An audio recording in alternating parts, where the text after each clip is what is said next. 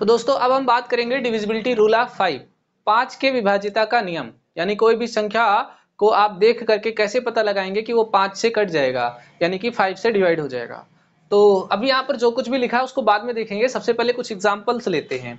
जैसे आपने यहाँ पर काउंटिंग राइट कर लिया। One two three four five six seven eight nine ten ठीक है?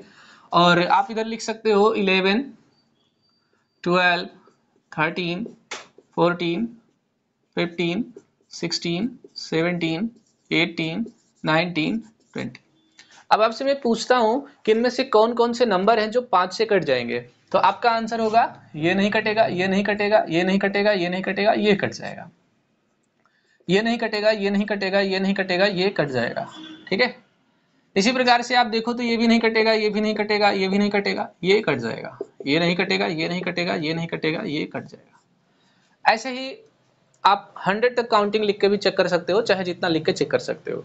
तो आपने देखा क्या कि ये कट जा रहा है और ये कट जा रहा है। अब इन दोनों में कॉमन क्या है? उभयनिष्ठ क्या है? जो दोनों में हो तो वो है पाँच। आप देखो लास्ट में फाइव है। लास्ट डिजिट क्या है? फाइव है। ठीक है?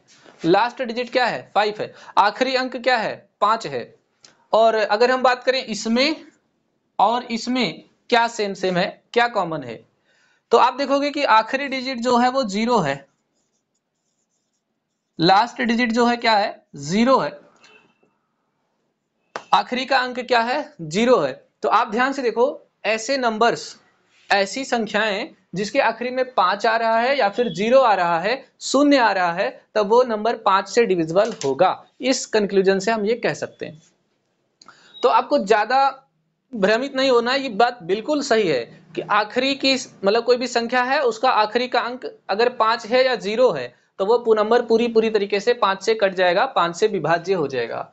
यही चीज़ आपके डिफिनेशन में लिखा हुआ है divisibility rule of five last digit is इधर फाइव आर ज़ीरो। आखिरी का जो अंक है, या तो पाँच हो या ज़ीरो हो, उससे जो संख्या वो पूरी पूरी तरीके से पाँच से कट जाएगा। हिंदी में लिखा हुआ आखिरी का अंक, या तो पाँच हो या फिर, अथवा ज़ीरो हो, शून्य हो, पाँच हो या शून्य हो, दोनों हो, तब भी कोई दिक्कत नहीं है। और पाँच हो या शून्य हो, तब भी कोई दिक्कत नहीं है। एक हो, दोनों हो, कोई दिक्कत नहीं है। आखिरी में ज़ीरो हो या पाँच हो। आखिरी में शून्य हो या फाइव हो तो वो नंबर पाँच से पूरी तरीके से कट जाएगा। तो आप इनको देखते ही बता सकते हो कि ये संख्या पाँच से कट जाएगा क्या? तो आप देखो इसका आखिरी अंक। सिर्फ़ क्या देखना है? आखिरी अंक पाँच है, कट जाएगा। फाइव है, कट जाएगा। ज़ीरो है, कट जाएगा डिवाइड हो जाएगा।